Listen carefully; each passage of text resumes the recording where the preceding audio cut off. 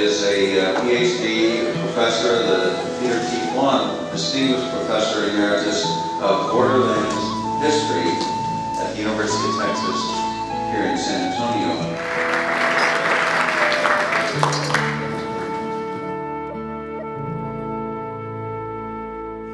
Ladies and gentlemen, damas y caballeros, distinguished guest of honor, the Honorable Jesus Maria Ramon, Madam President General of the Republic of Texas, the Honorable Karen Thompson, the Lady Chair of the Alamo Committee, Senorita Melinda Navarro, venerable esteemed members of the audience and particularly the members of the Ramon family, bienvenidos a San Antonio.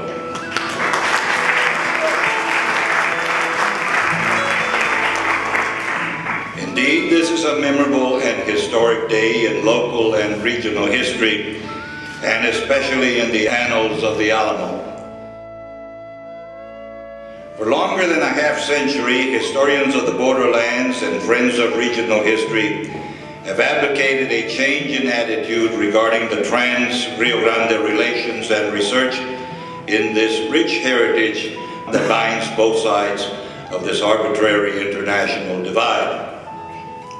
As a young scholar in formation, I observed that the tone of the American historians had forgiven George III for dispatching mercenaries and soldiers of fortune to fight the British Americans, uh, the Patriots, in a struggle that English historians continue to describe to this day as the first quarrel with America.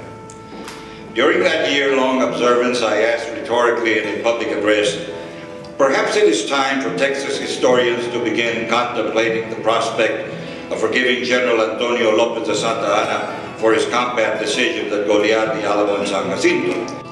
Except for the early works of scholars, the general public is unaware of the saga of the Spanish colonial era in Texas that unfolded on the other side of the Great Divide of 1836. The contributions of Diego Ramon and Domingo Ramon to Texas before the Alamo will provide generous filling to that tapestry.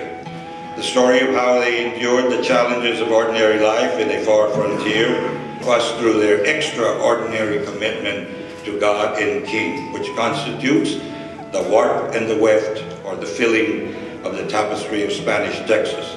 Muchas gracias y muy buenas tardes.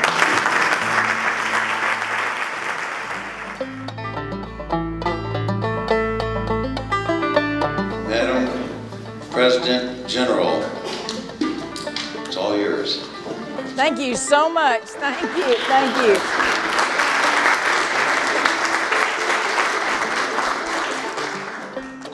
Thank you. It is indeed a pleasure to be here to see this wonderful family that has come today uh, to hear our words and our appreciation to a family that has done so much for Mexico, for the Republic of Texas, for Texas, and we're honored to have you here today. We hope that this, as we've talked about, enhancing history and uh, bringing forward a lot of the research that we know needs to be done so that our countries have a complete picture and we do bridge that gap between what is the complete history of those borderlands and what was happening in Spanish colonial Mexico. It's an illustrious history that the Ramon family is tied to and that ties them to Texas history and to the Alamo. So at this time, if the senator would please come up here, I have a couple of things to present.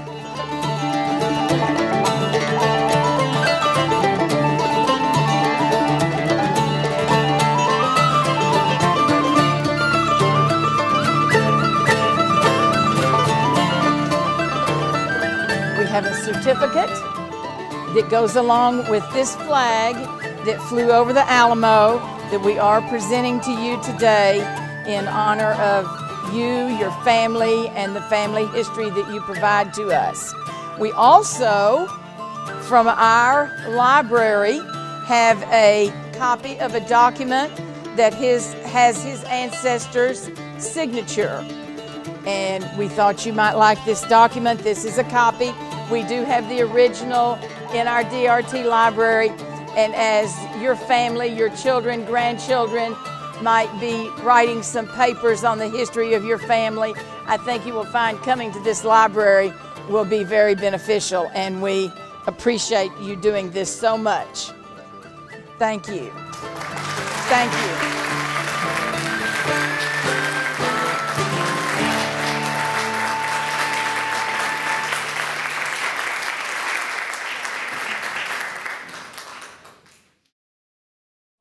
Senator Wentworth is a strong supporter of the Daughters of the Republic of Texas and the history of Texas, and he is also making this presentation to you. And Senator Wentworth, would you like to say just a couple of words for a fellow senator on this occasion? We would love to have you say something. Thank you so much.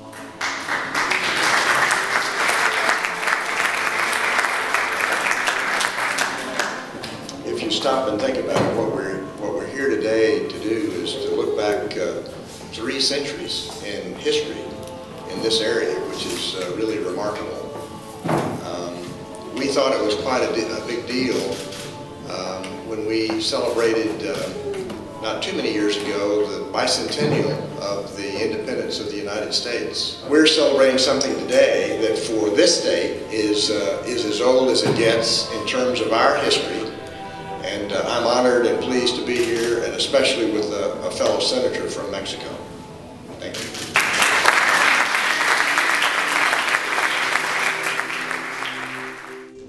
Thank you, President Karen Thompson, and Alamo Committee Chair Melinda Navarro, for this great welcome and honor you have bestowed upon me and the Ramon family on this day. For recognition also to our lineal ancestors, Diego and Domingo Ramon. These pioneers were not only soldiers of the Spanish Army in the far frontiers of North America, but more importantly, this father and son were instrumental in the formation of Texas before the Alamo. My ancestors were not conquistadores, they were colonizers, and their exploration of the wilderness left an unforgettable imprint upon the landscape of Spanish Texas. During the early Spanish colonial era in North America, Spain claimed all land masses now called Texas, but the government lacked resources that would have allowed them to establish strategic settlements and control over the region in an effective manner. As long as other European colonial powers remained far from Texas, the land remained a vast wilderness. All of this changed when two French intruders came to the desired land Robert La Salle in 1684 and Louis Saint Denis in 1714. The government of New Spain responded with energy and determination. Alonso de Leon led the first response and aided by my ancestor, Diego Ramon, that resulted in the establishment of the first mission within the pine forest of East Texas. 25 years later, both Diego and his son, Domingo Ramon, executed the second response with settlers, missionaries, and livestock, which resulted in Spain's permanent occupation of Texas. Among the missions Don Diego founded was Francisco de Solano, established March 1, 1700, in a close proximity to the Rio Grande del Norte. Years later, this mission was rebuilt near the banks of the San Antonio River and in time became to be known as the Alamo, the shrine we stand in today. Don Diego Ramon and his son Domingo Ramon stood at the crossroads of history, deciding whether Texas would become dominant under French influence, like Louisiana, or Spanish domain as it is today. If the Spanish government had not responded within the termination of the French intruders, Texas would have not developed as a land of missions, presidios, ranchos, and villas. Ladies and gentlemen, I would like to read an extract of Diego Ramon's report of the founding of the mission of San Francisco Solano, later renamed the Alamo. It says, On this day, March 1700, I, Diego Ramon, supervised the foundation of a new mission located approximately two leagues, less than six miles, from the Rio Grande del Norte, irrigated by fresh water from a natural spring. With the assistance of Fray Antonio Olivares and Fray Francisco Hidalgo, we gathered Indian neophytes from the region to convert them within the mission's plaza. With the consent of the Franciscan friars, I named the mission and pueblo San Francisco Solano. Later, Domingo Ramon, his son, recorded the following recollection of the local region in his diary of 1716, Expedition into Texas. On this day, April 25th, 1716, the Franciscan religious arrived at Presidio San Juan Bautista and the requisite supplies were gathered for the entrada into Texas. I started my journey and the caravan left camp for Texas with a complement of 75 persons. I, Domingo Ramon, second lieutenant, Diego Ramon, my brother, Father Isidro Felix de Espinosa, and other Franciscan lay brothers and soldiers, accompanied also by my chief guide, Captain Louis Saint Denis, Juan de Medar, and Pedro Largen, all of whom who were from France. In addition, there were women a six year old boy, a four year old girl, two Indian guides, and three Indian converts in charge of the cattle. As the entrada approached the vicinity of the Rio San Antonio, Domingo recorded the following comment on the date of May 14, 1716.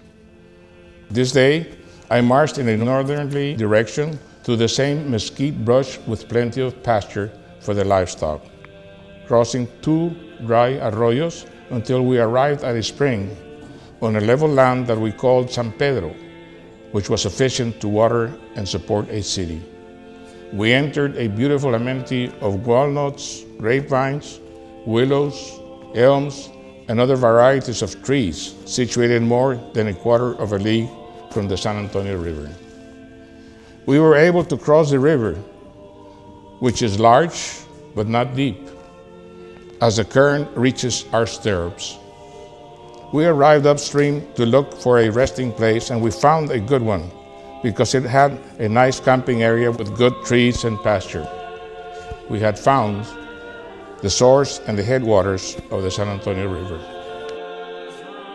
At this time, on behalf of my family, I would like to present to the daughters of the Republic of Texas, Karen Thompson and Melinda Navarro, the Alamo Committee Chair, with the original copies made from the existing diaries of Diego and Domingo Ramon on the reports of the founding of Mission San Francisco Solano and of Domingo's 1716 expedition into Texas.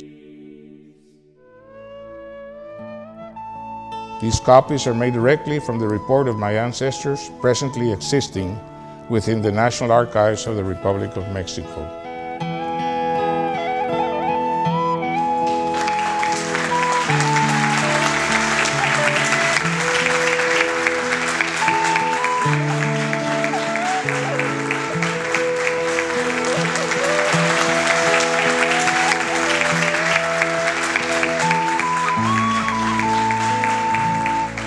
Thank you once again for honoring me and my family and for recognizing the important achievements of our ancestors, Diego and Domingo Ramon, in Texas before the Alamo. Thank you very much.